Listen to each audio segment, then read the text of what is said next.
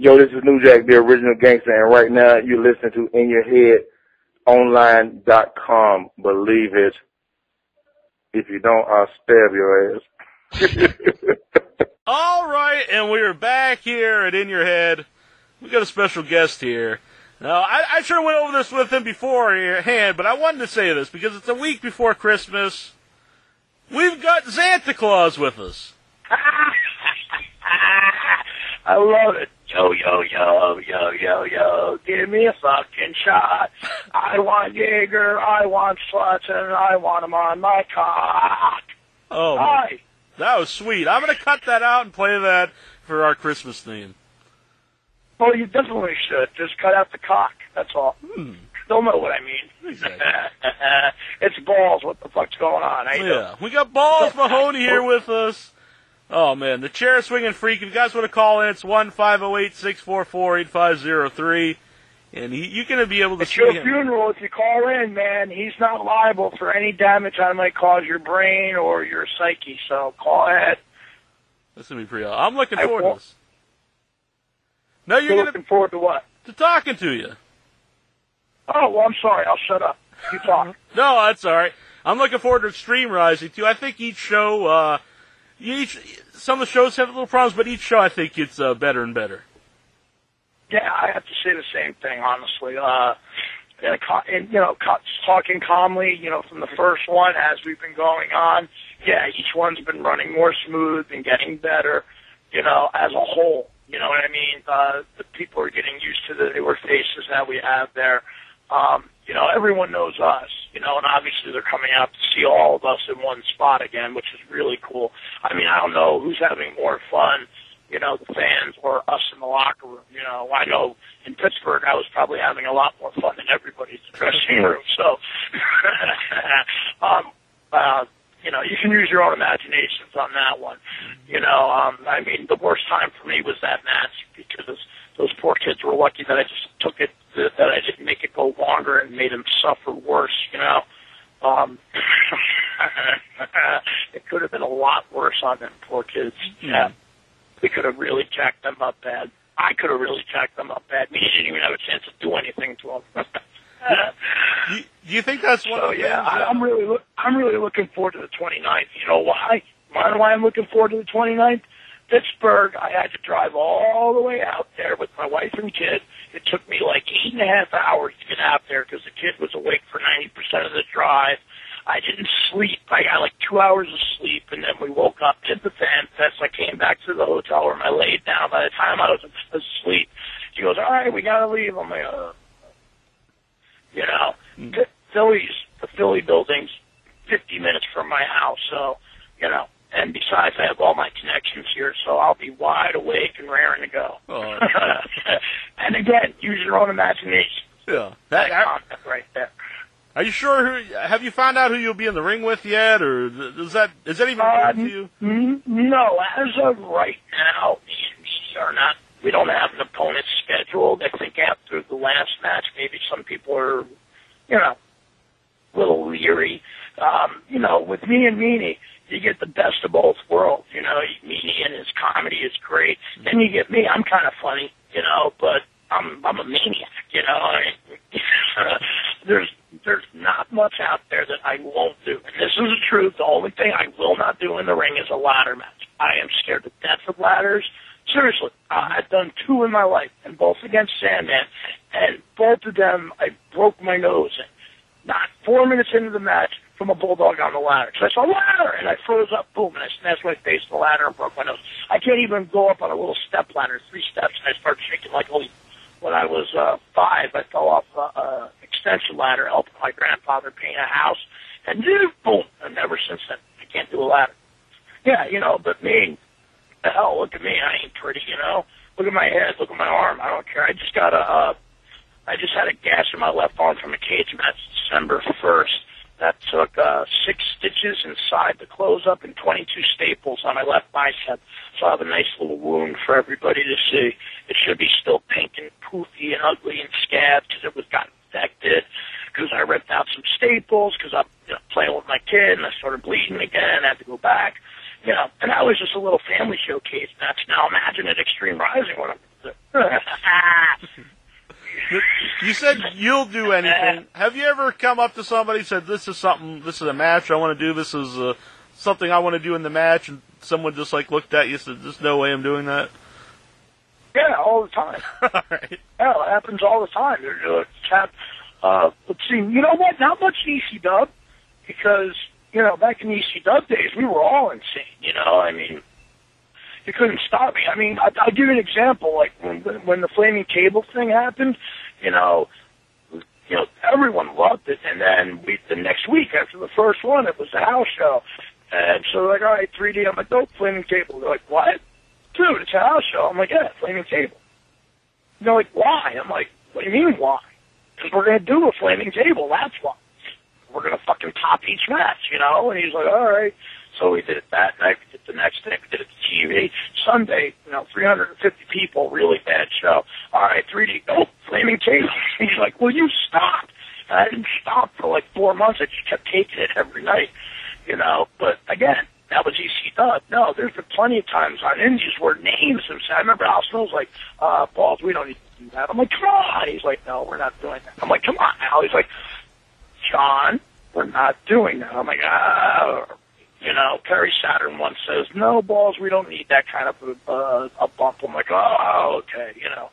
Like my favorite guys are like Sabu. I like, I want to do this. Hey, and then I can do this. Yeah, and then I can, know, and then it just gets worse and worse or better and better, you know, Uh-huh. being your standpoint. um, you know, but yeah, it does happen a lot, you know. I mean, especially now, I mean, I have Extreme Rising, you know, which lets me be me. Um, there's another thing happening in a few months where they're just going to let me be my crazy self. You know, in fact, the guy's already scared, so I'm calling him up a couple times. Look, I got another idea for that match. And he's like, dude, come on, relax. I'm like, no, you wanted hardcore balls. This is what you get. You know, don't, don't tell me now that, you know, you don't want it. You know, that's what you're paying me for. Shut up. Now listen, this is what I'm adding to it. He's like, dude, the guy don't want it. I'm like, well, then I'm looking someone else. And he's like, oh my God, you know, so he's already regretting it. But there's nothing you can do about it. He sent me a deposit already. uh, um, let's see. Uh, yeah, it happens, but that's why I love Extreme Rising. They're not going to tell me no. You Yeah. know, I hope they're not going to tell me no. Oh. You know, and they better not tell me no in Philly. You know, I mean, me and Meanie in Philly. I mean, come on, that's going to be great. You know, we're actually going to tag in Philly for the first time. Really tag. Oh, I can't wait. I'm psyched. I'm so excited. I really am, dude. It's like what, less than ten days away. I'm pumped. Yeah. But how did I'm that tag pumped. team? My, Uh, my connections are pumped. Yeah. how did that tag team come What? about? How did the tag team come about? You and uh, you and um. Um, well, you know, me and Axel did the match. and Me and Axel worked on a team, and Axel was driving home, and he got into a car accident and broke his sternum, so he couldn't make the next show. So that night, they took, you know, Shane, uh, Shane took me aside and was like, "Look, uh, we had an idea to put you and Meanie together. You know, like, like not the Blue World Order, but like I'm like Blue Balls. That's fucking great. Let's do it. You know, I was immediately into it because back, in fact, back a long time ago, before I even got hired by ECW, uh, Raven had the idea of bringing me in as the Boo Meanie, you know, because I was Boo Bradley Right, down in. Smoky Mountain, you know. So he wanted me to be the Blue Meanie's like uh, brother, the Boo Meanie, and I was like, no, I don't think so, you know, because I knew what Meanie was doing at that time and I had a lot of pride, and I wanted to come in and work, you know. I was like, no, I don't. You know, it's like, no, you'll work. I go, no, I'm going to be part of your little flock, Scotty, and you're going to make me into a comedy sideshow you know, I come out and do something stupid. No, I don't want that, you know. I want to come in and make an impact. I want to come in and be me, you know. He's like, yeah, I guess so. He goes, well, that would be great. I'm like, no, it would be phenomenal if these guys would tag us, but you want me to be a part of that whole little flock thing. No, you know. But I got to give it to Raven because Raven came up with Balls Mahoney. He's the one who named me. So thank you, Scotty. You know. Yeah. And people always say, well, even himself, he'll say that he, he's a genius. Uh, do you think? Uh, Oh no, he's a genius. So am I, though. You know that that's the scary thing. Like like Raven does have a genius IQ. So do I. How scary is that? like seriously, I'm, I'm measured. I'm at the low genius IQ level on the IQ scale. That that was when I was in what like seventh grade or eighth grade when I was measured. Yeah. And now look at what I do. but I tell you what, my five year old, he's another one. He's like scary smart. He knows sign language, speaks some he, he speaks some Spanish. I'm not joking, dude. Really? he's, he's no joke. Uh, my son Christopher, he, he's scared. He's five years old. Speaks some Spanish. Knows some sign language. He he spoke some German the other day. He's in one of those Montessori schools. You know, that's we got lucky Wow. to get him into one of them Yeah. by accident. Oh yeah, the kid. And then he then just before actually just before I, I got in the car. See, this is the thing. Normally at the house, if I'm doing an interview, I go outside, so I'm not keeping everybody up. But everyone's just going to sleep right now. My wife, my son, my mom in her room, she's going to bed. And we just had a new neighbor move in, not what, uh, Monday. And she came and introduced herself to me. Her name's Heather. She got red hair. She's a single mom. Now, right there, let me stop, and then my my best friend Dan will tell you this because he met her the same day, and he goes, "Hey, how you doing?" And he looked back at me, and goes, "You're so fucked," because all throughout my life I had a weakness for girls with red hair and same build that she had, and he's like, "You're fucked," and I'm like, "Thanks, you jerk." But I don't think the way for her to get to know me, because she has a five year old son too, and she lives literally next door to me, not like 12 feet from my room, you know? I don't think the way she should get to know me is, yeah, me and my dealer is going to be in Philly, and I'm going to be doing all kinds of stuff, and me and Meanie are going to be going crazy. Ah! I don't think she needs to hear that tonight, do you? I don't think so. I don't think so. No, I don't think that would be conducive to Yes. a good relationship and a good, you know, parent and child friendship there. Hmm. And that's all it would be on my end. But seriously, I want my son to have friends. You know, that's not a good. thing. She'll be scared to death. What? He me. Get away from me! I'm doing it. now. Hold on. Hmm. Fuck you. I hold on. All right. I'm Balls is talking doing people here. an inter.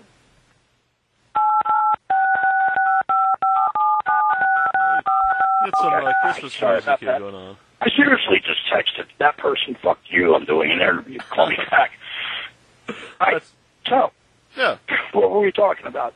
Oh yeah, my neighbor. I don't think that would have been good. Yeah, No. but Philly. Yeah, I can't wait. We're gonna be blowing the roof off that place. I Yeah. can't wait. What? It doesn't matter who we work. You know what? It really, to me, it doesn't matter who we work. Because whoever we work, whether it be some new guys or whether it be a really good tag team, I mean, the better the tag team, the better the match is going to be. But you can give me nothing in there, and me and Meanie are going to just fucking tear it down. I promise you. Take It would be, you know what would even be better? Put me, balls, and Axel together. That would that would be insanity Yeah. you know, but I think that might be too much. I don't know. That's not up to me. That's up to the office, you know, but Do you I like me and Meanie. would you take, That's, that's, that, it, it's fun. do you take pride in that? You know, if you go out there with somebody, uh, that you might not think, uh, you're, you never worked with, whatever, and just, you know, have a fun match at the, that's gonna entertain the crowd, a fun match, a crazy match, whatever kind of match it's gonna be. yeah, of course I do. I, I, I, of course it gives me pride. Yeah, a lot of, you know, it, it gets to the point, like, at least now in my career, people realize, all right, you know, he, he knows what he's doing. He's really good, whatever, you know what I mean? And yeah, when at one point, there was, you know, I, and I'll be a little conceited right now. There was a point in my career where I, a lot of people consider me one of the best big men in the business at the time period, you know, whether in the world, you know. And at one time, I, I really do think I was. In fact, my friend just put together a DVD, like a best of DVD, and there was a couple matches with RVD on there. And I'm like, God damn, I could move for a big guy. And I was 360 then, you know. Yeah. And I'm like, shit, how the hell did I do that back then? And you know, I'm not as broken. Now, I wasn't as broken then as I am now, but still, even me broken, I'm I'm better than most people, I guess, you know. But yeah, it's great. I just had these little matches this past weekend, uh, little six-minute match that had some comedy in it, and then we got. And I was actually a bad guy. So picture that. I'm trying to be a bad guy, and the people are booing me, trying to be nice. You know, they're realizing Right. I'm a heel, Uh-huh. and they don't want to boo me. And halfway through it, they were cheering us. And uh, one of my tag partners was the company's biggest heel, and they're cheering all of us. And the promoter's looking at me, going, "What are you doing?" I'm like, "I'm doing, you know, fuck you, dude." And I said that really loud, and the crowd loved it even more. Mm-hmm. You know, and the kids were working. I wasn't going to do much. All of a sudden, during the heat, I wouldn't tag out for like ten minutes. I'm doing all these old like moves and spots, and the kid in the ring with me's having a blast because he didn't expect any of it. You know. And it went really well. I thought so. And he was like, dude, that match was awesome. Everyone was like, dude, that match was awesome. Looked at me and where'd that come from? You know, loving fun, dude. What do you mean where'd it come from? I don't get to do that too much anymore. You know? Yeah, I was, You brought up RV, you brought up RVD because I really remember because I was a huge ECW fan. I graduated '94, so it was like, you know, it was really the time when it took off and everything. But you and uh, you and Oh, yeah. RVD, that was the one that really like like got my attention. Like this guy's really good, Balls Mahoney. Do you think that was really which, when? we're talking about the Anarchy Rulz match? Yeah, but um, it might have even been. I love Big Dick. Oh, we got someone calling in. that wasn't me. Because anybody who knows me knows one of my favorite things to do is to eat pussy. So nice talk. Uh, There's probably, you know what? Hold on. You know what? Before another gay rumor ever happens again, because it's happened to me over the years, because especially now because I with my my real like love of my life, and I have a kid, and I don't cheat anymore. I probably slept with more women than any 25 people in the world. Okay, so stop. I'm probably I'm probably on the level with Gene Simmons, the amount of bitches I fucked. Okay, so shut up. So go on with your question. all right, well that guy hang up. We got some other people here. Uh, two five three area code. Who are you? Okay, so you were saying, I'm sorry. Well, I was just, I was really just putting you over that your match with RVD was one I thought that really like right away showed like, man, this guy's like, this guy's really good. And uh, do you think you Yeah. fit in with ECW right away? Because there are some guys that would be there and like the fans wouldn't take to them. They'd have to really, you know, go all out for for a while before the fans would start to like. But you seemed like a guy. As soon as you got there, people really liked you. Yeah, well, you know what? When I first got there, though, for the first like six to eight months, it was really hard because you you see, you probably don't remember this. A lot of people don't because once I started, once they started letting me be myself, you know, and I started doing the balls, balls punches, you know, then Yeah. people forgot about. Dude, the first six, eight months, Balls Mahoney wasn't me. Okay, that's the thing. Like you, the, the Balls Mahoney that everyone knows, that's me. You know, I picked out my shirts. I, you know, I, I all the shirts I wore, I wore because I'm either friends with people in the band. I love the design. Uh, when I wear King Diamond, it's because I think King Diamond is one of the best entertainers in the world. Plus, for a long time, he was a card carrying member of Church of Satan, just like I am.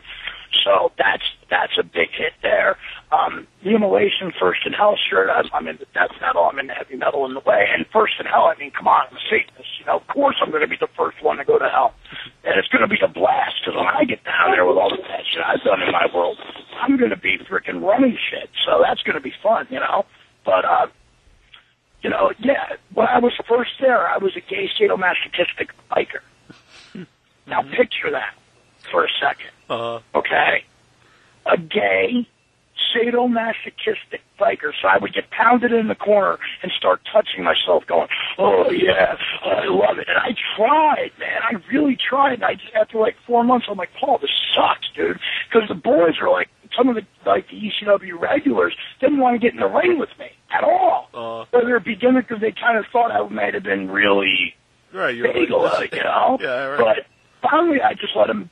Rick Rude was like, dude, he can work. And Candido all the time was like, dude, what are you doing? He can work. Let him be himself. And Rick Rude was the first one. He goes, Paulie, they put me with uh, Anthony, To Paul Anthony, out in ironically Pittsburgh, uh, in the Pittsburgh area. And they're like, and he's like, dude, let him just be himself and be like he's and I, you know. And Rick Rude, he goes, hey, hey, Paul. So I'm like, what? He gives me the thumbs up. He goes, go be yourself tonight. I'm like, sweet.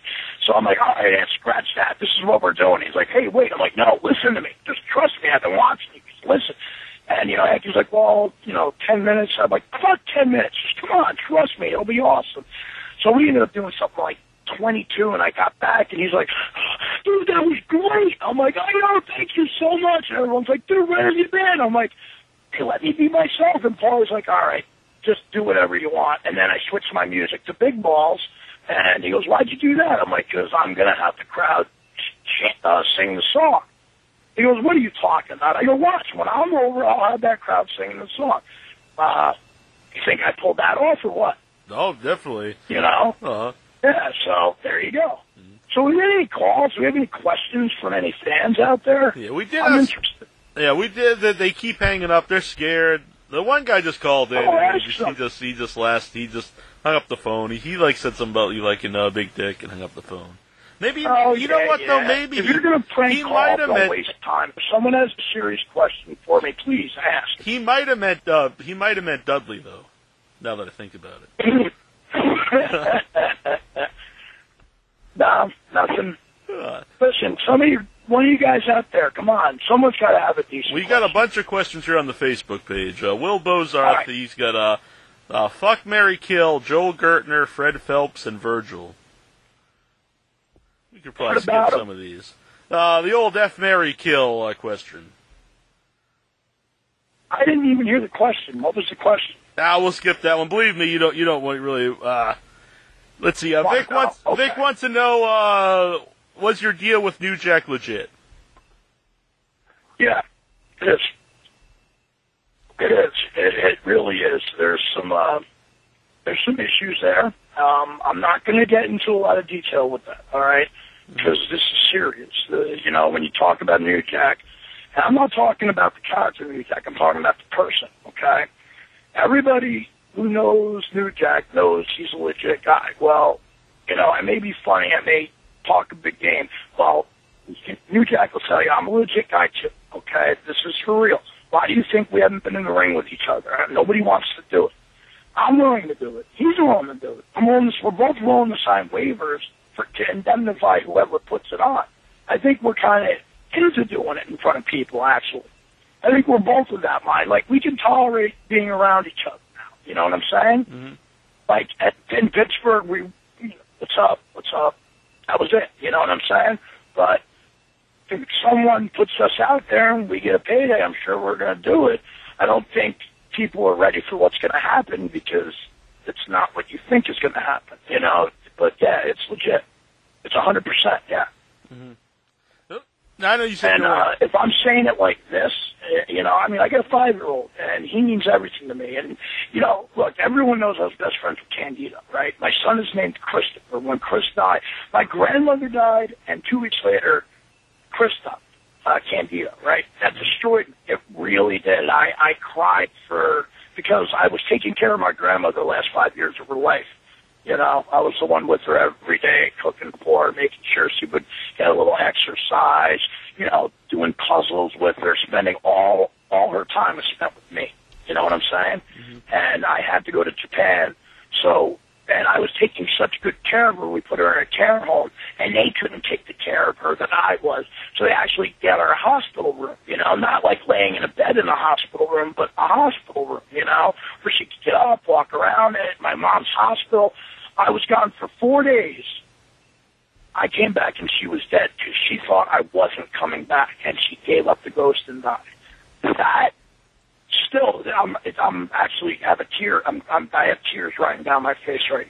Okay, mm-hmm. because all she ever wanted to know was when is she going to have a grandson? You know, when is she going to have a great grand? You know, when am I going to have a kid for her? That's spoiled. You know, and now I do, and she never got to see it. You know. Mm-hmm. And then two weeks later, Candido up and dies on me. That's why I got the tattoo on my right arm. That's the arm I carried the coffin with. That's why I named my son Christopher. And if me and New Jack actually have it out, there's a chance I might not see him again. You know, there's also a chance that Jack might not see people again. You know what I'm saying? It's that legit. Yeah. And I don't think we need to comment on that anymore. Um, were you and uh, Candido, when you and Chris, were you friends uh, before wrestling or after you got into wrestling? Yeah, actually, we met. I was, uh, I, I, even though I was, I was a big kid my whole life. Like when I was in kindergarten, I weighed a buck fifty, and that's that's the truth. Yeah. You know, when I was my son's age, I was 100 pounds. He's uh, 55 or 60 right now. You know, and I don't want him being like I was, a fat kid. You know, and I met Chris when I was 10, and uh, playing baseball. You know, on like you know little league baseball, and he had on a hot. Or no, wait, sorry, we were 11, and it was baseball, and he had a hot rod shirt on, and that was his uniform. He had baseball pants on, a hot rod shirt, his hat on sideways, and his glove on the wrong hand. He knew how to play baseball. It was his parents making him do a sport other than pro wrestling. I was a pro wrestling freak. I used to watch it with my grandfather, who died when I was 10, and I met him a year later. And we just started talking wrestling, and there just happened to be a wrestling show two weeks later in Convention Hall. So we're talking wrestling the entire time. Like he's, when when his team was was like in the field, he didn't play in the field. You know, he was he was a pinch hitter because he wasn't that good. You know, but uh, he came over and sat on our bench, and we would talk wrestling, and his coach was yelling at him. In fact, when he got up to bat, he walked. I played first base, and he's talking to me, and he's got a lead. I called timeout. I went to the pitcher, got the ball, I tagged him out, and he refused to leave because he was talking to me. And so at the end of the at the end of the game, we exchanged phone numbers, and I found out he lived five blocks away. So we walked, met, and he took me into his little office room there, and I saw all these old wrestling posters, and it all had Chuck Richards on it. And I'm like, hey, crazy Chuck. He goes, you know my grandfather? I'm like, oh, shut the hell up. That's not your grandfather. And he goes, no, it is. The show in Convention Hall in, in two weeks is my grandfather's show. He goes, shut up, dude. You're lying. He goes, didn't you say you wanted to be a pro wrestler? I go, yeah, it's my dream. He goes, well, why don't you come to the show at 12 and we'll meet you there. We'll, you know, come, not come inside and you'll set up, help, uh, that, help us set up the ring. And I'm like, oh, whatever. But we still hung out the rest of that day. And, then, and then his mom told me that. And I'm like, hmm. you know, like, here's my dream. So I showed up, you know, like, saw him about eight more times. I showed up when I was told to. And there's Chuck, and, you know, the ring's already pretty much up because I got there late. And Chuck's like, so this is the big kid that you were telling me about. Get him in the ring and beat the living shit out of me. Hard. For like 15, 20 minutes. And it seemed like a lifetime, you know? Mm-hmm. And, you know, I got tears coming out of my eye, but I'm still taking it. He goes, yeah, he's tough enough. Let's teach him how to bump, you know. Next thing I know, I'm taking bumps, you know. Yeah, it went on from there, man. Yeah, I mean, we lived five blocks from each other, you know. Mm-hmm. Yeah, we saw each other every day, forever. You That's know, yeah, I, mean, I was the first one to meet Tammy. Oh, I met really? Tammy before she even looked like Tammy Sytch, you know, like Sunny. I knew what she looked like. She was still gorgeous, please, but she didn't look, you know, like that. You know, Yeah. I met her when she was seventeen. You know, first and only real girlfriend. yeah. Um, Dude, As a wrestling fan, my- something funny. I don't mean to talk ill of the No, that's fine. Chris lost his virginity to Tammy. hey, that's that's sweet. well, I mean, it could be, you could do a lot worse than to fuck your first girl. It's fucking Tammy, you know. Right, right. Uh, Think about that for yeah. a second. Yeah, Sunny. I don't think I fucked ten girls in my entire life that look that good. I'd say it's all downhill from there, though. I mean, yeah, but you know, look at look at the train like we've all became since then. You know, I'm not like I'm a spring chicken anymore. Most of the girls I bang look at me now and go, "Yeah, run away," you know, and I'd be limping up to them, "Hey, come back! Hold on, let me let me take a Viagra. Hey, yeah, I'm ready." You know? Let's see, we got a caller on the line. Uh, who are you? Hello. This is this is a stranger. Are you with a guest right now? Or? Yes, Sounds Ball, like- yeah, we got Balls Mahoney on the line. Yeah, how you doing, man? What- How you Hey, doing? up, you sound dude? like a doing? crazy. You sound like a crazy MFer. Yeah. From the I'm a crazy. I'm you can say it. I'm a crazy motherfucker. It's okay. You I- called in I before a know. stranger. You know you can say anything you want on here. I don't know if I can say whatever I want, but it- for for Balls Mahoney, I'll say it. You're a crazy motherfucker. Well, I sound don't like I can read through the phone and get you. Yeah. I don't, What's- I don't what's quite the know what question? to I ask didn't hear it. I, I, I, I think I'll let somebody, someone else. Well, I, actually, I, I'll say, have, have you ever heard the, the allegation that, uh, some people think you, you, uh, you, you've turned into like the, the baseball guy from Something About Mary? The what? That you Uh, met turned me? into Don Mattingly? Yeah. Have, What do have you- you heard the what's that? allegation that you took too many chair shots to the head and now you're kind of distant? Oh, I see what he's saying. He's saying, Oh, you, oh, no, I, oh, oh, I kind of understand what you're saying now. Um, yeah, I have taken a lot of shots to the head. I do have what is called post-concussion syndrome. Um, I do forget a lot of stuff a lot of times. Um, and if you guys, if you've probably seen online, I'm sure you have, that pussy-ass chair shot that Marty Jannetty hit me with, it just caught me in the back of the head, and I got an instant concussion, and I threw up. Yeah, that, that's that's the truth. If I get hit in the back of the head, I'm gonna puke my guts up, you know. But you didn't see me afterward in the locker room where I was running around going, "Come on, let's get back out there," you know. I, you know, I felt like an ass because you know we were supposed to have a good 15 minute match, and all of a sudden like, "Marty's gonna go. It's got to be quick." I'm like, "Oh, come on, man, it's me and Marty," you know. So we took it home, but when he hit me, he didn't, you know, I kind of leaned forward. He caught me in the back of the head. But that doesn't mean I can't go, man. It just means I'll hit me in the back of the head, you know? You want to hit me in the head with a chair, go ahead. I can still work. I can still go. But, uh, no, I'm not damaged goods. I mean, I got other issues other than that, but as long as I got my painkillers, dude, it don't matter. I can still dance, you know? Well, let me let me let me tell you something. I, Thank you for the I- question. I- I- you got anything else? No, no, not much else. I, I I just heard of you ever so recently, so I got to start watching your tapes and stuff. And I, I You've been calling in the show for years, and you've just now heard of Balls Mahoney. Yeah, Dude, yeah, you'd be just, I got it surprised. That the- happens a lot. from Dude. the Really? That, ha- that happens a lot because a lot of people, a lot of younger people, like early twenties and stuff, you know, like even younger than that, they never, they, they never seen ECW live. You know, they're just catching up to it now. Mm-hmm. I have people coming up to me. So I go to Six Flags this summer. I was at Six Flags every weekend, pretty much literally. Here's something you guys don't know a lot about me. All right, this just happened. I'm a respite worker. This is a part-time gig for me. It's on the books. I'm a respite worker for six years okay? Mm-hmm. Which means because my my my wife's brother is mentally handicapped, okay? So I take him places, and the, cause I always we always took him with us whenever we go somewhere, and a lot of people in Jersey already know that because he goes to a lot of wrestling shows with me, you know, because gives him something to do. He's my brother-in-law, you know. Fucking matter to me. But now it's part of it's a gig. So, but he loves Six Flags. My son loves it. We have passes, so I'm always there. I have these like 16 year olds, 15 year olds go, "Holy shit, dude! Your balls rolling! I just watched you sleep. My older brother, dude, you're the man." And I'm like, "Oh, okay, cool, dude. It's nice to meet you," you know. And I'll talk to him or whatever. Yeah, it happens a lot that people who never knew who I was are get are seeing me now, and they're like, "Shit, how come WWE never hired you?" Because they were scared, you know. I mean, honestly, they were scared to death. Now someone's calling in and playing music. That sounds like Steve Corino. is that the kind of is that the kind of stuff he listens to? You know, you said that uh, uh, you said that um, WWE was scared of you. I know that they actually. I've heard the same story with uh, Mick Foley. That's why uh, they didn't want to bring him in for so so so long. They thought like just looking at him, that was what the guy was all about. When you when you did go there and you met Vince McMahon, like, uh, or did you meet Vince McMahon and wh- how did that go? Oh yeah, Was was he cool dude. with you? All right, here's the thing, and I'll say this straight out. And I said this to a lot of people on the street, and I've said it to a lot of people otherwise.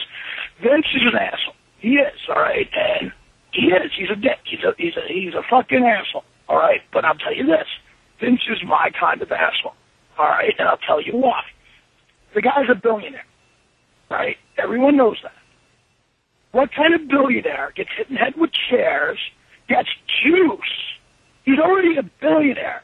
He did that so he can look at the talent say, if I'm willing to do it, you better be fucking willing to do it. Now that's my kind of guy. It really is. Because obviously, I work, but dude, if I go out there and I have like a half-ass match, I'm mad at myself. And I'm not mad at myself for like 10 minutes.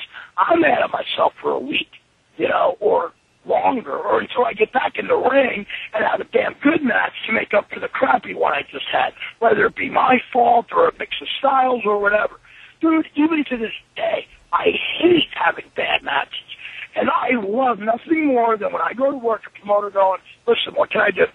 Dude, whatever you want. How long? However long you want. And if I got someone that's willing, I'll try to put together me an RVD again. I really do. I love to go out and work my ass off because I love doing what I do. I loved working those matches with RVD. But when they first knew, were taking a look at me, when they first saw Balls Mahoney, and Vince was into it then. You know, balls, balls. He loved that. Then he saw some of the shit I was doing. He saw the pictures of me standing around with thumbtacks, glass in my tongue, and shit stapled all over my body, and me smiling, you know, mm-hmm. because Kind of get off on it. I do. I don't give a shit about any of that. You know, I mean, look at me. I got tattoos at the, at, at the mo- back of my prime, dude. I had, what, four in the eye. I'm talking about my piercings now, okay? Four in my eyebrow. I had two in my tongue. I had my lip pierced a bunch of times, but it never stayed. It kept getting infected, so I just stopped trying. I had my nose pierced, uh, both nipples, and I had my cock pierced, uh, Prince Albert, two on top and two on bottom, and it was like that for three years. So, you think glass or thumbtacks scare me, or staples, or any of that shit? Right. Come on, I did that to myself for fun, you know? So, I love fucking going out, and I love doing hardcore. I love it. Vince was my kind of asshole, you know? Uh, I thought John Laurinaitis at first was an awesome guy. He's a cocksucker. He's a political cocksucker. And that, I mean, no offense to him, That's his job, and he's good at it. You know, he's a political guy. He stirs cities. Vince is a man. That's great. You're a dick, and you're good at it, John. But I like Vince. Even to this day, I like Vince. I'm not against Vince. Mm-hmm. I got that. I got that. See, at the Garden, the last, the first Saturday Night's main event that they ever did in a long time was at the Garden, right? And what aired when they were doing Vince's kit. You remember this, Jack? Mm-hmm. I'm trying. I'm trying to remember. Well, I'm here. I'm here. I'm here with you. It was the yeah. Okay. It was the first Saturday Night's main event. It was out. Of, it was out of the Garden. Okay. It was when they were doing Who's Vince's Kid. Yes. Yes. Right. yes. It ended up being Hornswoggle. Right. Uh-huh, uh-huh. Well, Saturday Night's main event, what everybody saw uh, at home was Melina came out. Okay. Mm-hmm. And Vince got all you know verschlepped. Right. Mm-hmm. And then Steve Austin came out.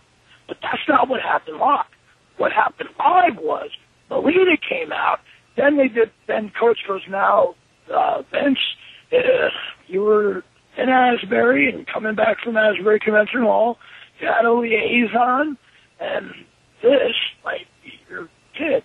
And ball, my music hits. Well, it's the Garden. You know, mm-hmm. I match in the Garden with Dupree. It's like wrestling in the Meadowlands or in the arena. You know, fucking twenty thousand, and I come out laughing you know? Mm-hmm. So I come out and Vince is shaking his head, but his Adam's apple's going up and down. He's loving the reaction, you know? And he, and he kind of gives me the look, like, milk it. So we milk it out a bit. I'm like, Vince, come on. He goes, this is not my kid, coach. Get this thing out of here. And I'm like, Vince, what's wrong? Come on, look at me. You don't think I could be like you? Look at the smile. Eat with the broken teeth. And he's like, coach, get this thing out of here. I'm like, Vince, just stop. Listen, look, just picture it in lights. Very big, on the marquee of the garden. Vince has balls. And Vince goes, I haven't got any balls. and with a mean face, and I just start laughing my ass off I couldn't help it. I wasn't supposed to. yeah. But the crowd goes berserk. And I go look at him. Vince has no balls. And I wasn't supposed to do that, right? but I looked at the crowd and said, Vince has no balls.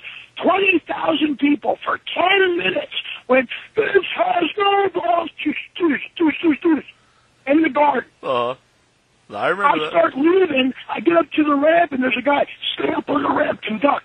So I'm conducting, and you see Vince freaking out and ring, get him out of here. He's going to get fired. I'm going to fire you. So I finally left, and then they calmed the situation down, and Austin came out. That's why when he came out, and if you look, if you go back to tape and look, he didn't get the pop he should have. Mm-hmm. Okay? And that was supposed to air on Saturday Night's main event live later in the night. Well, the NBC people took Vince's side, and they go, look, who's that fucking guy? And they're like, oh, that was Balls. That was great. You gotta leave that in there. That was amazing. Mm-hmm. And they go, Vince, we can't leave that in there. And they're like, what? Vince fought for like 10 minutes, and finally they go, Vince, Austin's your biggest guy on the show this night, right? He goes, yeah. He goes, did you hear the crowd? After that guy, after Balls came out, it was like someone they never saw before because it, it wasn't the same type of pop. Even when he got the stunner, it wasn't the same pop as I had 20,000 people. I had to the whole show. This was the last thing of the evening. There wasn't even a match after that, you know? Yeah. And I had 20,000 people screaming, Vince has no balls for 10 minutes. Uh-huh. And I didn't find out till the next day, you know, when I, when I'm, you know, I woke up and I'm, and I was like, so what happened on Saturday Night's Main Event? They go, it didn't air. I'm like, what? And they go went from Melina to Austin. I was fuming when I showed up on Tuesday. I'm like, Vince, how could you do that, man? And he took me aside and, goes, and I was upset, you know. I'm like, mm-hmm. dude, because I, I could have written my ticket with that. There was a two-year gimmick. I would have got a two, three-year extension, you know. Mm-hmm. I was excited. They just killed my Kelly thing. You know, they sucked me out of that. I did this, you know. And then they're like, oh, we'll do it in another building. I'm like, okay, we're in Philly next week, right? Did they do it in Philly? No. Did we do it in Baltimore? No. We did it in fucking Alabama. The fucking people in Alabama know. No offense if you're from Alabama, right. but they're not ECW fans. You know, we were down there mm-hmm. twice. We didn't draw shit. We never went back. You know. Mm-hmm. And I did, and we did, and we didn't even do it in the ring. We did it in the, in the locker room. They're like, hey, hey, hey. And I, you know, I can thank Laurinaitis for that. So thank you, John. You know, I'm not sure, but I can guess. You know, mm. thanks, John. Nick. Mick actually, Mick Foley Sorry, actually. John Laurinaitis, cocksucker. Um, Do you do you have any other? Uh, I just want to tell you real quick. I don't know if you noticed, but uh, Mick Foley actually uses that story in, in his uh, stand-up. Oh, about money. Yeah, I know. Actually, you know what? We, we, we, he did a uh, he did an FTW show, and he's like, "Boss, boss, can you come out to the ring? I'll be Vince, and you can be you, and we do that." I'm like, Yeah. "Yeah." So we did it in the ring.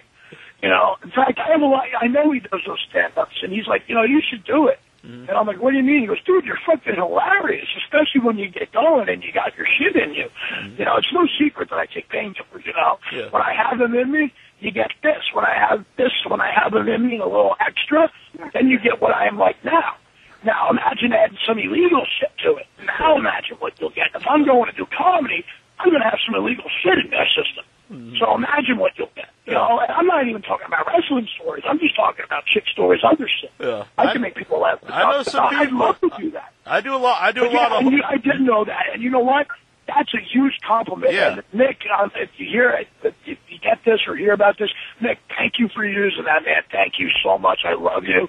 Uh, a lot of people might not know this, but Nick was involved in my my uh, my stuff in Smoky Mountain that turned me babyface. I actually have a pair of tights that Boo Bradley wore that Cactus Jack gave to me. Okay, Awesome. I still have them.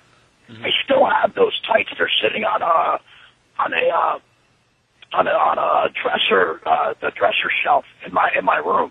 I still have them. Yeah, I won't even put them up in the attic. That's how much they mean to me. So that means the world to me, man. That did that, you know. And he still does it, really? Is, yeah, you serious? he I, still does that? I seen him uh, live a few times, and he did. He actually he brings someone up usually to play Right. to play your role when he does the story. You know what, Nick? Nick, listen, you got to hear about this. You've got my number. If you don't have my number, get in touch with Brian at FTW. He's got it. Dude, get in touch with me. I'll fucking go on stage with you. Uh. but I got to do some stand up. You got to give me 15 minutes of open mic time and be prepared for me to bury you because I'm going to work in the blue and fuck your world up. But dude, I'll come and just do that and get a couple drinks. Call me up. I'd love to do it. Just uh, That'd be great. real quick too. I do a lot of horror movie conventions besides the wrestling show, and uh, just in Chicago, just in Chicago, um, I was part of Days of the Dead. I did some of their Q and A panels, whatnot. But they did this thing. It was Mick Foley and Roddy Piper, uh, like verse each other and stand up, and then they had like DDP ran in. It was just, it was hilarious. And the horror crowd just loves these guys. Like you think maybe they wouldn't get some of the references, but it, it's really over. Dude, I'd love to do fucking. Dude, I. You know why horror people love us? Because we love horror. I love horror. Yeah. You know who loves horror? You know who's a horror freak is Batman Hondo. You know that, right? Yeah, he was actually at one of the Days of the Dead I was at. He, he was there, right? Yeah, not this one in Chicago, but one of the other ones. Yep. Yeah, yeah. He loves that stuff, dude. He's he's he's wore when we were in Mexico. He was wearing some shirts. I'm like, dude, what the fuck is that? And it was a woman impaled. on It was a horror movie that was never released in the states because they couldn't prove that the woman that they really didn't impale a woman for real because it was that real. I'm like, holy shit! I'm looking at. it, I'm like, dude, that really looks like what impalement looks like. And he looked at me and goes, "How the fuck do you know what impalement looks like?" I'm like, there's a lot you don't know about left, you know. Oh, yeah. And, he, and he's like, oh, okay. I'm like, no, that's really what it looks like, you know? And he's like, how do you know this? I'm like, well, I'm not going to tell you, but I've seen it on a cadaver. And he's like, holy shit. I'm like, well, Vlad the Impaler's my idol, and he really is. I think if we were more like Vlad the Impaler and we made the punishment for terrorism, not, not execution, uh, impalement. You know what I would do if I had caught Bin Laden? I would have shot him in the leg. I would have took it. No, I'd have shot his ass in the leg. I'd have brought him back to New York, and I would have impaled his ass on the spire of the Empire State Building. And once he was dead, I would have encased him in lucite and put a big fucking sign over his head. Thus, that happens to terrorists. Sic semper tyrannis, motherfucker. No, they shoot him and bury him and see if that's what happened to him. But I give it to Obama. You know what? Bush was in office for how long? In bed with the fucking Bin Ladens. Business wise, you don't fucking tell him. But give Obama two years, boom. There goes Bin Laden. So we got a couple people I here take the guy. uh, calling. 810 area code. Who are you? Hey, I'm Jill from Michigan. All right, cool. Hey, Joe, how you Hey, doing? Good. Uh, I'm not sure if you remember me, but uh, I want you to tell me some good Captain Ed stories. Wait, what now? I want you to tell me some good Captain Ed stories. I'm sure everybody wants to hear good Captain Ed stories. This is either an inside story? reference. This Captain is Ed either, story. Holy uh, shit, Captain Ed Shores. How you doing, man? What's going on, brother? you want to hear? What kind of that- story you want to hear? I'm not. Oh, I don't care. I just figured the rest of the world could hear what kind of scumbag Ed really is. Dude, all right. You want to know what kind of scumbag Ed is to Baltimore? Hear. I want. A, I want a good story. Hold on, hold on. I'll tell you. I'll tell you what kind of scumbag Captain Ed George was to Balls Mahoney. Every show I did for him, paid me every penny he said he was going to. He always took me out for drinks. He never let me pay for anything. Captain Ed George and Balls Mahoney are absolutely fine. Seriously, I have nothing bad to say about Captain Ed George and how he treated me. Did he fuck up businesses? Yes. If you put me in charge of businesses, would I fuck it up with an with an unchecked? With unchecked? Oh fuck yeah! Give me a fucking twenty million dollar business. See what I'll do with it in a year. you think Oh, yeah, he- bad? What was that? You think Enron and those fucking guys were bad? Halliburton, you know, stealing what? Fuck, spending fucking eighty-five thousand dollars on an umbrella stand was bad. Oh, they're gonna say, uh, Mr. Director, what did he do with that million dollars? Uh, well, I took a trip to Puerto Rico. I got a house on the beach, and I hired twelve hookers to come live with me, and I did twenty-five ounces of cocaine with it. And they're gonna Oh, go, that's- and that's- what else? What do you mean, what else? That's what I did with it. I had hookers sucking my dick while I the vines off their legs. That's what I did. and where was your wife and kid? Oh, they were home with the money that you can't find. Now, fuck off, you know. but Ed George is fine by me, dude. I got no problems with him. I love Well, him.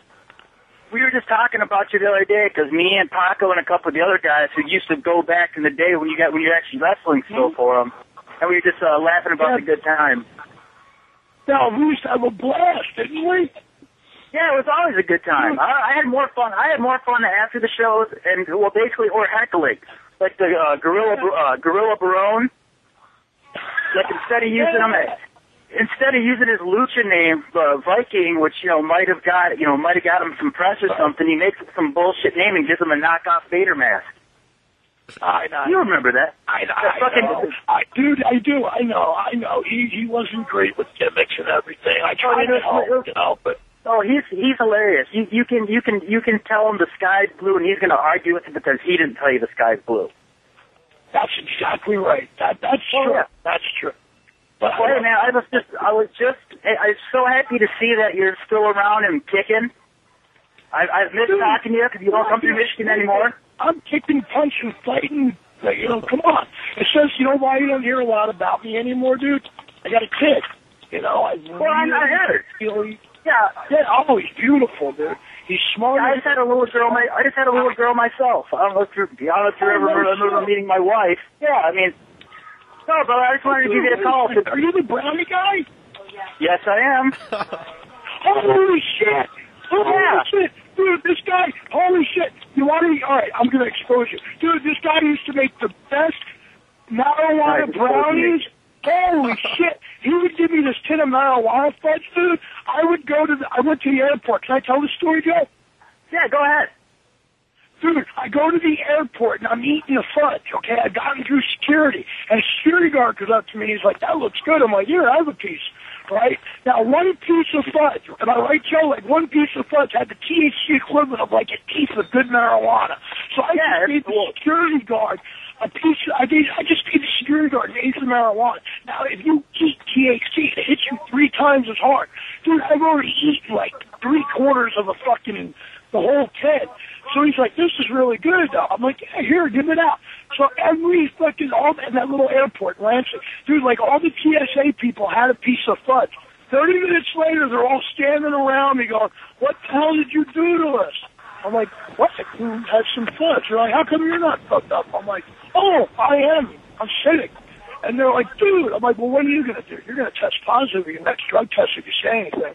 And I smiled at them, so they all walked away from me. dude, God, dude, do me a favor, Joe. Give your phone number. Get get Joe's phone number for me. So I'm not giving mine out right now, okay? For I obvious saved here reasons. Okay? Yeah, I, ho- I hope not. Yeah, I was just, so- you know, like I said, it was so, it was so nice to Oh, see you know you uh, what? doing Joe, some streaming Joe, union stuff. Yeah. email my wife. Listen. Oh, by the way, if anybody is serious about getting in touch with me to say hi, you can email my wife. Now, this is my wife. If you start emailing bad shit to her, guys, I will. And besides, you're emailing. We will have an email address for you. This is my wife. Okay. Okay. I'll give Yeah, that. no, no. It's, all right, here you go. It's D U B L E D. Hold on a second. I have a pen handy. All right, what Well, was that? come on, Stoner, get a pen. I got one now. Put down the brownies, Joe, Okay. for a second. D U B L E T R D. Yeah, What was it? D.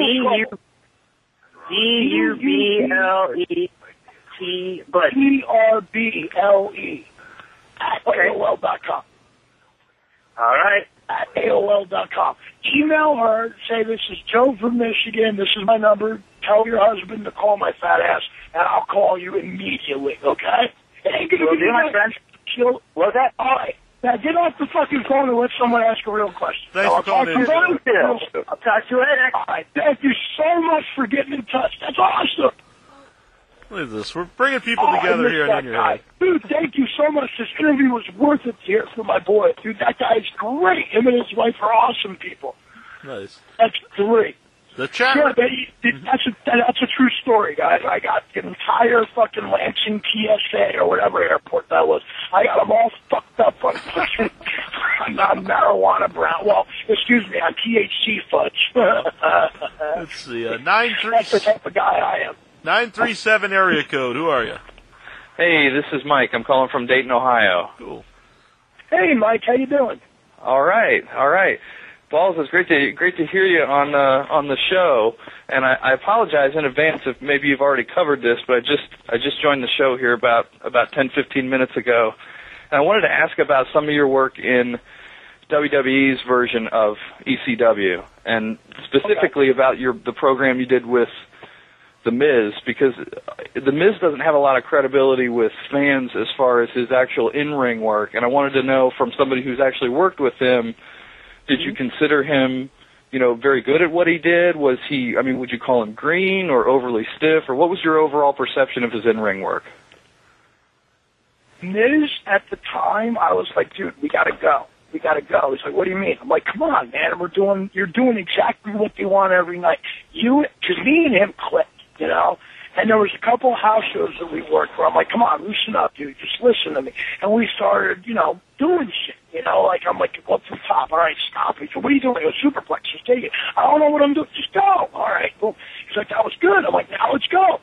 Dude, if, if he if they'd let us, oh, we would have tore it up, but they wouldn't let us. Obviously, they had no plans on letting us.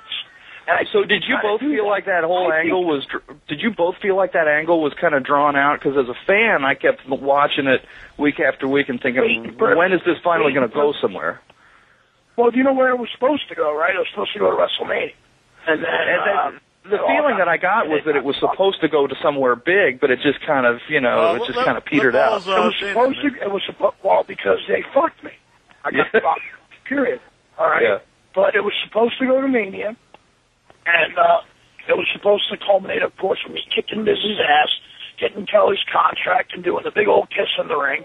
And I was actually going to have like dentures put in by then, and have my hair cut a little bit. You know, seriously. You know, they were going to clean Yeah. me up, and that was going to be the thing. And then I, obviously, I was going to go over on this. He was going to do this thing. I was going to do mine. And then uh, my son was born, and I took off for the birth. I took a week off. And now, originally, when I went to and I went to Vince, and I said, Vince, listen, I and I knew three, two months before the birth that it was going to be a C-section. All right? Mhm. my wife does not like needles at all. Okay, like the first time I was around her, she gave blood. She scared 15 people out of the ER. I swear to God. like a phobia. No, like a serious psychological Yeah. phobia. Okay? So I knew it was going to be a C-section. And I went to Vince. I go, Vince, you don't understand, that. She's going to be in bed for a month to three months from this. She really is.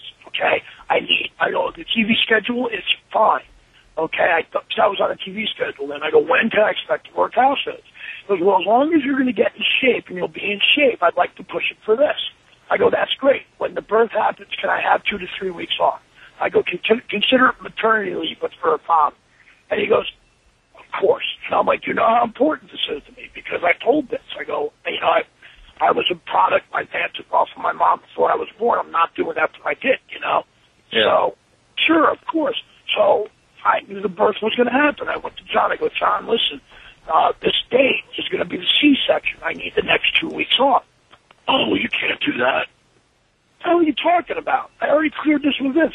Oh, you can't do that. It screws up the angle. I'm like, doesn't screw up anything. Admit that. Just do something to me or do something. I go, what the fuck, dude? What are you talking about? This is this is paternity leave. I can sue you over this. You know, you Yeah. can't do this. You can't do this. This is if I was a woman and this was the other way around, John. I go, you'd lose your job over this. So I said, fuck you. And I went to Vince and I go, Vince, my wife's having birth. I want the next week off, okay? And I'll be back to work the following week. And, he's, and I go, well, my angle be here. So I just told John oh, off because he gave me a bunch of shit saying I couldn't do it. And I just told him I'll have his fucking job because if I was a woman, he goes, of course, the balls, your gimmick, your angle will be here. You know where it's going. You're safe. So I went and apologized to John. I go, look, I overreacted. I talked to Vince. Everything's fine. I'm really sorry. Please don't fuck with me. I'm sorry. And I know you could. I know you have the ability to make my life hell. Please don't. I'm really sorry. That's how much, that's how strongly I feel about my son Christopher. I had already named him. You know what I mean? Yeah. And he was born, and when I came back and he cracked my angle, Kelly was upset and it's like, oh, I'm like, ah, fuck it. And I go, so when are you going to fire me? He goes, what? I go, so when the fuck are you going to fire me? I'm not firing you, you know? I'm like, you know what, John, whatever. Whenever you're fucking ready to get rid of me, I'll be ready. All right? So I went home and I told my wife, I'm like, look, they're going to fire me. Time to quit. I gotta call TNA. Let's get the fuck out of here. You know? No, she was so postpartum that she made me stay for the bullshit check I was getting every week. And every week I'm like, I, the next month I'm like, I gotta get the fuck out of here. Dale. Yeah. They're gonna fire me. They're trying to bury me on TV. They started putting me on on on the on the uh, on the board, okay, with guys who never worked the match like hmm. three minutes with their name underlined. But of course, when it was, oh yeah, sure, and then when it was time to go over it, they couldn't find me anywhere. And I was reading a book. I mean, I wouldn't tell them where I was reading, and they couldn't find me, so they couldn't. They'd have to replace me. So I didn't allow them to squash me. Actually, the last match I did, I got squashed by Viscera, which I had absolutely no problem doing. This is awesome people. And Taker ran out and did the choke slam on me, you know? And I Yeah. did that specifically. Taker came up to me and goes, you know what's happening. I go, I am a kid. I've been wanting to quit. My wife's postpartum. Fuck that. He goes, well, dude, do the match with this. I'm like, I intended on. it. He's like, really? I go, no, I love this. I'll do it. He goes, well, I told him I'd come out and choke slam. you." I'm like, fuck yeah, dude, that's great. Yeah, dude. you know, I was all excited for it. You know, I finally get to do something during with Taker, which is what I thought they should have done with me in the beginning. You know, they gave me the senior match. I went, now, when are you going to put me in with Taker so we can outdo what you and Bully did, you know? And Taker Yeah. looked at me like I was crazy. I go, no, I don't need to go through a cage and go off the top of the, uh, of the Hell in a Cell, but believe me, we can, I know things we can do to top. And I'm thinking, you know, 20 different versions of the flaming table bump, you know, he can do to me. I'm thinking of a, you know, honestly, I'll say it now. I was thinking of off the apron through a flaming table with barbed wire and thumbtack tombstone where I take it. You know what I'm saying? Boom. Where he just lets me go head first and I go into it and then there's like a coffin underneath. I thought that would have been amazing. You know, and I was running these things by them. As I said, they were scared of me. I'm running these things by John. And Arn Anderson's looking at me like I got 20 heads, and he started disliking me right then, you know? And honestly, fuck him. I love Arn Anderson's work. He's a great, he's a great worker. I always thought he was a great guy. Fuck him too. He's a political guy too. Sorry, Arn. You don't like it. Sorry, buddy. But you are, and you're saving your job. But fuck you. Okay? Made my life hell in Ireland that trip. I was worried about my job. I'm not anymore. Go fuck yourself. Um, Well, it, you know, well, Balls, I know yeah, that, we that compared, know what to do with it. yeah, I know that compared to the Dude, rest of your time- career, the, what's that? I said, what time? Holy shit, is it 9.30 already? Guys, we got about 10 more minutes. Well, I got a five-year-old. dude. He's waiting for Yeah. me at home. So- I wonder why my wife... Well, thank you for calling in, Mike. We got about time for two or three more Yeah. questions. Thanks for calling in, Yeah. Mike. I'm going to get to these other couple other people. Thanks a lot. Jack. Thanks See for ya. calling, man. Yep, no problem. All right, Mike. Thanks for talking to you. Let's see, we got uh, Madman Maple. hey, hey, Matt. Hey, shit. Hey, Matt. Hey, boss. How's everything? Yeah, it's going, man. It's going. How about you? Ah, I'm sick, but other than that, I'm doing okay. Hey, I got a serious question for you. Sure. Uh, have you ever have you ever fucked a girl's armpit or a guy's armpit? Have I ever what? Have you ever fucked? Put your dick Oh, in a Oh, I farm fucked the girl or guy's armpit? No, I've never done that, dude. Oh, dude, have you? No, I haven't. I was, I was wondering. You you seem like the kind of guy who would do that, knowing the freaky No, shit you've done with fucked the lads and dude. whores. No, you see, see, here's the thing. You, yeah, fat, whatever. You're making fun of me, dude. I probably fucked your mother before. You might be my kid, all right? So get the fuck out of here and let someone have a serious question, all right? Go home to your mommy and cry. She probably sucked my cock and swallowed it. Now get away. Uh, we got another caller here on the line. Who is this? He's calling with a block number, so I don't know who it is. But I do have a question for you because uh, we've had him on the show a bunch of times, and he's really outspoken. Works for uh, Extreme Rising. That's uh, Luke Hawx. I just want to know uh, uh, what your thoughts on uh, on Luke is. Uh, Lucas, Uh, Luke, Luke I think me and him could tear the fucking house down. Mhm. Seriously, I think we, if, if they would let us, yeah, I think it would be fun, a lot of fun. Yeah, I Uh, think he's got talent. I think I think we could dance and dance well. And if he doesn't want to dance, I think he's in trouble. I'm a very good shooter. People should know that by now. So well, I'll, I I'll don't say, really tend to do it, but he's a guy who's uh, very Mhm. critical on a lot of the original ECW guys, but he uh, he did say nice things about you. Cool, yeah. I he's awesome, dude. I'm serious. We could really fucking go. I think we could. Dude, there's not a lot of guys out there I don't think I could dance with. And there's some talent out there that you put me with them and you put us in the right situation. Fuck yeah. Dude, I love Homicide. Homicide is one of my favorite Oh, yeah, guys, man. dude. He was first coming up. I got him some work and the promoter fucked him. I paid him out of my pocket. You know what I'm saying? I love Homicide. He's great. I wish ECW didn't shut down because Homicide would have been there. Masada would have been there. Um, Boogaloo would have been there. There's a bunch of fucking guys that would have been there that belonged in ECW, you know? Uh, Dante sent this in. I don't know if it's uh, something you know about. He says, "Do you remember ripping the howitzer gun off the wall at TGI Fridays at the 34th Street, across the street from the Hammerstein Ballroom?" Was that during the Giant game? I think so, yeah. I went nuts. I was drunk, and I was watching the Giant game, and I started taking shit down off the wall and freaking out. Yeah, I remember that. I think that was a playoff game, and uh, was that the game? I think that that that might have been the game when Seaborn and I don't know. We it was when we were getting that Super Bowl run back then. Yeah, I remember that. I was real drunk, but I remember that. Yeah, I almost got into a lot of trouble. I ended up leaving after that because they were gonna fucking do some evil things, and I went to hit the Hammerstein, and Paulie's like, "What the fuck are you doing? Are you trying to fucking get us fucking get out of here?" I'm like, "Dude, we won." He don't fucking care. What are you doing that kind of shit for? I'm like, I was drinking Jaeger. Everyone was fighting for me. What do you want me to do? Fuck, how much Jaeger you drink? I go, about two bottles? He's like, oh, well, go sober up a little bit and get ready. I'm like, okay, thank you. And I went and did my thing. so,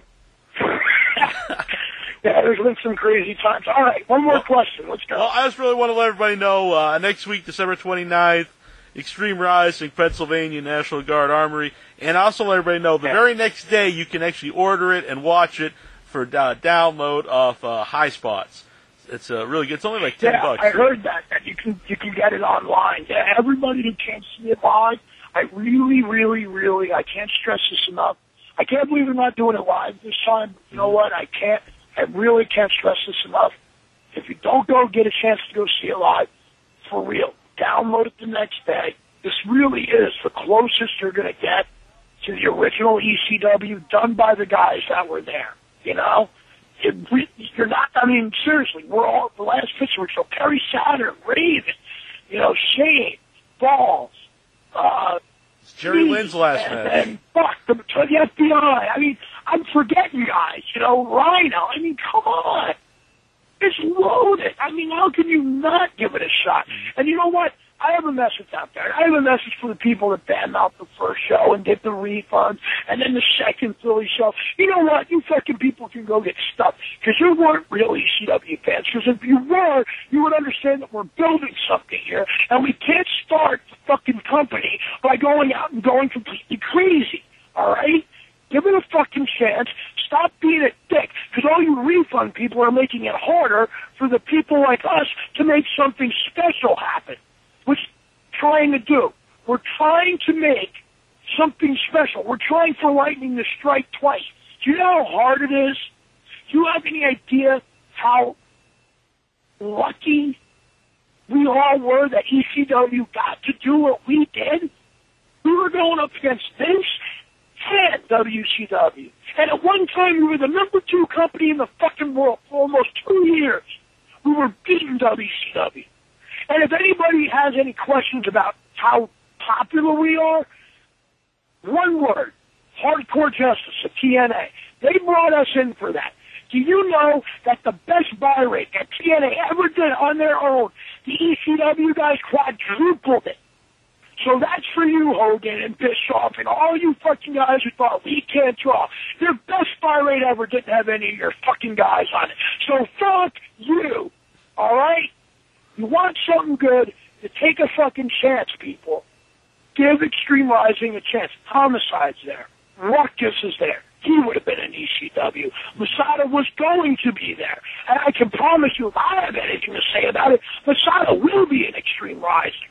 Okay? And the great thing about Extreme Rising is we all, the people who are in charge, listen to us.